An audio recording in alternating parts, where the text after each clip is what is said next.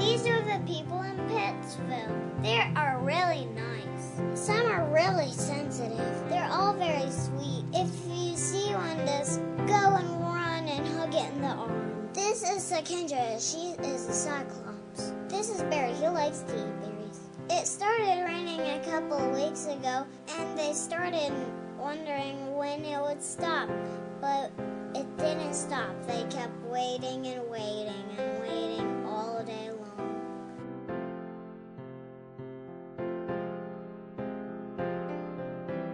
It seemed like the rain was never going to stop, and they thought they heard crying.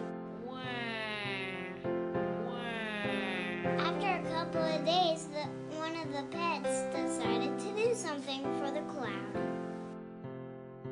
Rosie climbed and climbed the stairs